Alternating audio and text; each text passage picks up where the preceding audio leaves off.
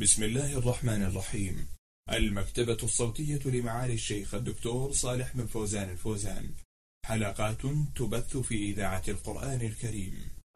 دروس, دروس من رمضان, من رمضان. الدرس الثامن عشر.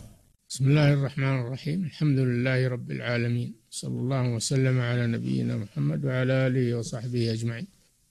قال الله سبحانه وتعالى شهر رمضان الذي أنزل فيه القرآن هدى للناس بينات من الهدى والفرقان فمن شهد منكم الشهر فليصمه.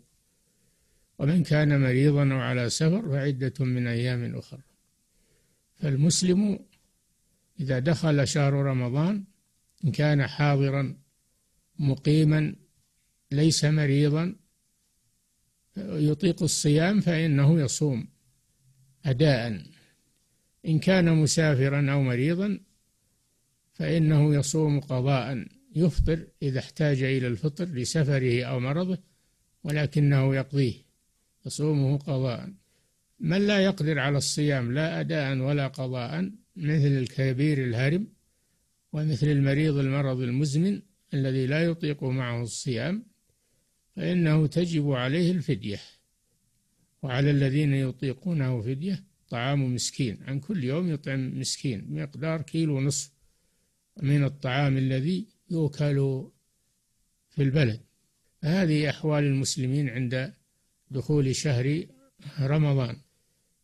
وعلى المسلم أن يشكر الله إذا بلغه شهر رمضان وأن يسأل الله أن أن يتمه عليه بالعمل الصالح ويسأل الله أن يتقبل منه. كان السلف الصالح يدعون الله ستة أشهر أن يبلغهم شهر رمضان ثم يدعونه ستة أشهر أن يتقبل منهم شهر رمضان.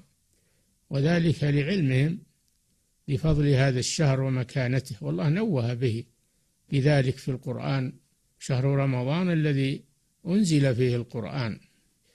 فيختص شهر رمضان بتلاوة القرآن أكثر من غيره. لأنه شهر القرآن. كان السلف الصالح إذا دخل رمضان تركوا حلق الذكر وأقبلوا على تلاوة القرآن. جاءوا بالمصاحف وأقبلوا على تلاوة القرآن في شهر رمضان.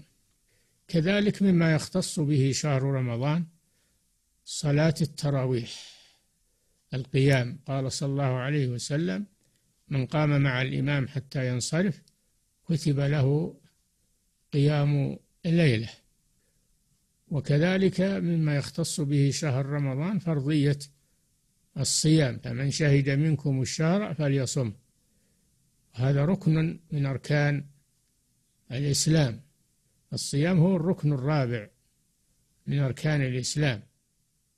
فمن شهد منكم الشهر فليصمه.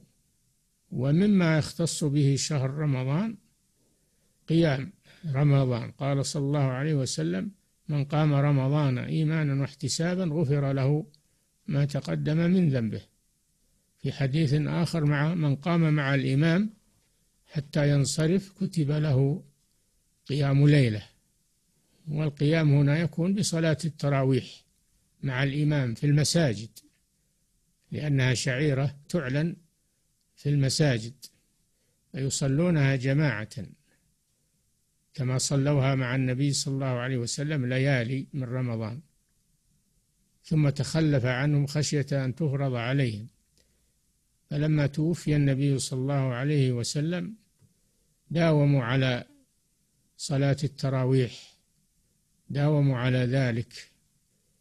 كانوا يصلونها مع الإمام في المساجد ويعلنون ذلك لأنه شعيرة من شعائر الإسلام فلا يتهاون بصلاة التراويح ويقال إنها نافلة أنت بحاجة إلى النافلة.